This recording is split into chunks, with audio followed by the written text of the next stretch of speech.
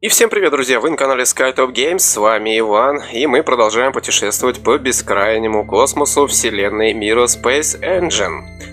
Друзья, сегодняшняя серия будет посвящена тоже интересно достаточным э, модам в Space Engine, но эти моды не просто какие-то там, не знаю, упали, как говорится, с небес, да, эти моды, моды будут кое-что значить даже я больше скажу, это моды, которые составлены по историческим э, кораблям, которые планировали пускать э, для путешествий на Марс, э, для путешествий на другие планеты.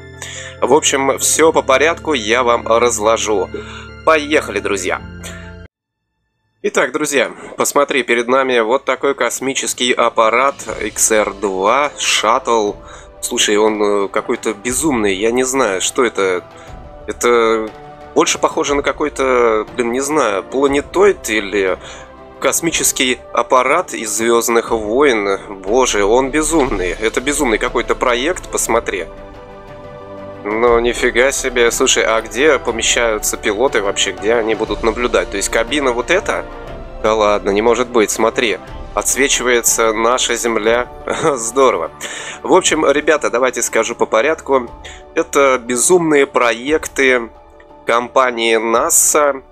А, скажу больше, это проекты Вернера фон Брауна. Ну, для тех, кто не знает, это был немецкий ученый во времена Второй мировой войны, который изобрел те самые известные ракеты Фау-2 и после войны когда немецкая Германия проиграла войну, то, естественно, много ученых немецких э, было вывезено за границу, то есть и в США, и в СССР, и компания НАСА приняла Вернера фон Брауна в свои руки, и, кстати, Вернер, Вернер фон Браун тот самый знаменитый ученый, который изобрел Аполлон 11. Да-да-да. Именно на его ракетах летали на Луну Нил Армстронг и другие астронавты. И вот этот безумный проект XR-2, космический аппарат, принадлежит именно ему. Э, но скажу больше, что данные аппараты, они даже, по-моему, не были выведены на орбиту и даже не летали ни на другие планеты ни на какие, потому что я сейчас покажу, есть еще такой вот интересный проект под названием, по-моему, сейчас, подожди, проект Марс. Марс планетолет, и есть еще Марс 1 посадочный какой-то, я не знаю, давай рассмотрим. Так, Марс 1, где он? Почему я его не вижу? А, вот это, вот это Марс 1? Вот это Марс 1, да ладно. Ну, это больше, я не знаю, какой-то спутник космический, что это? Да, действительно, это Марс 1, посмотри. Ну, я так понимаю, это, скорее всего, какой-нибудь спутник Марса должен был быть. Вряд ли здесь должны на таком спутнике были лететь люди.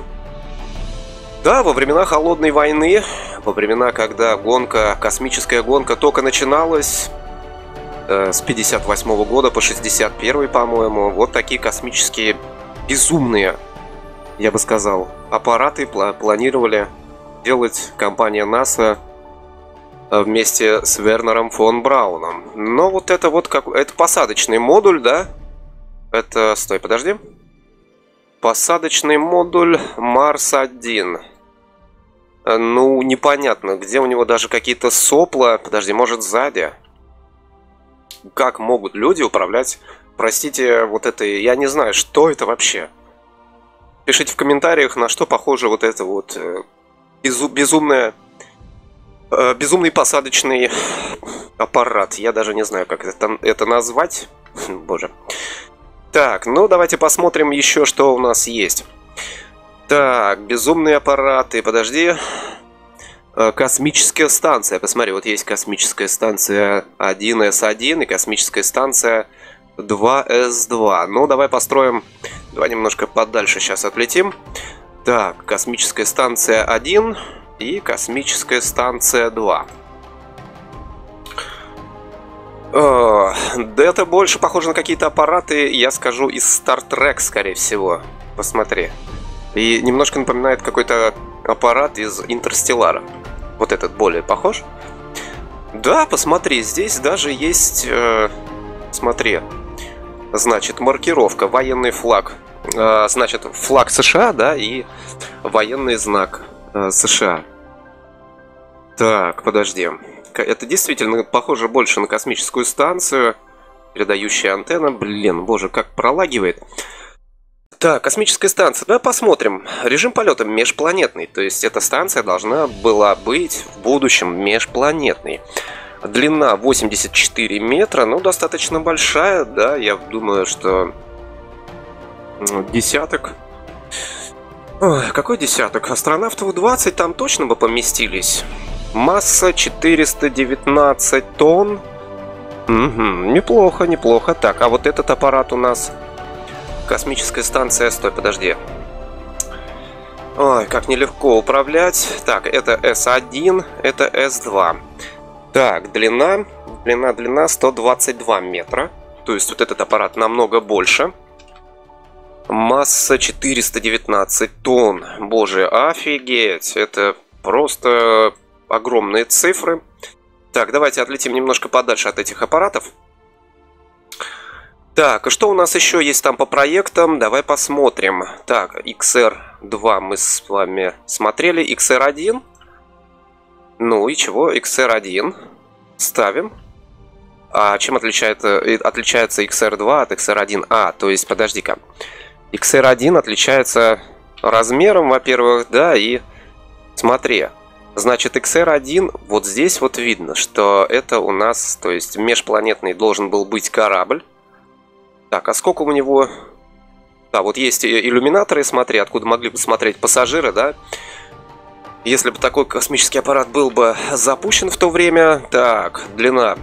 Длина 74 метра, но не очень довольно-таки много. Так, а... Значит... XR2 у нас... XR2, длина 153 метра. Ну, тоже небольшой. Подожди. РМ-1. Есть еще один планетолет какой-то. РМ-1. О, нифига себе. Посмотри. Это какие-то бочки. Ого, здорово, посмотри-ка. Нет, это не бочки, это все-таки, это, наверное, баки с топливом, я так понимаю. И одно огромное сопло. Я так предполагаю, что вот этот аппарат космический должен был быть тоже каким-то межпланетным. Перелетать с Земли на Марс. Слушай, а давай попробуем сейчас им управлять. Давайте попробуем поуправлять. Так, э, возьмем управление. И посмотрим, что вообще из этого выйдет. Ну, давай включаем главные двигатели зажигания и полетели. Ого. Ой, ой-ой-ой, какое пролагивание жуткое, да? Так, давайте на полную его разгоним, посмотрим. Так, максимальная скорость, скорость корабля 25 километров в секунду. Что-то не шибко такое большое ускорение, я ожидал намного больше. Я думаю, для того времени безумные такие проекты, я думаю, что и двигатели какие-нибудь, наверное, придумывали с невероятной, блин, скоростью. Да, отрыв довольно-таки большой. Что только не делали страны мира в те времена, в годы холодной э, войны, чтобы только быть первыми в космосе, да. Жалко, что нету проектов из э, СССР. Было бы тоже неплохо посмотреть какие-нибудь безумные проекты. Если ты знаешь какие-нибудь проекты СССР, когда была космическая гонка, то обязательно напиши в комментариях, что, какой аппарат, его описание. Ну что ж, друзья, наверное, на этом я закончу свою короткую серию. Всем, кому понравилось, обязательно пальчик вверх, жмем колокольчик, дабы не пропускать наши новые путешествия. Обязательно подпишись на канал. Всем пока, друзья. И помните, что космос и Вселенная бесконечны, и мы только начинаем свое путешествие в нем. Всем пока-пока.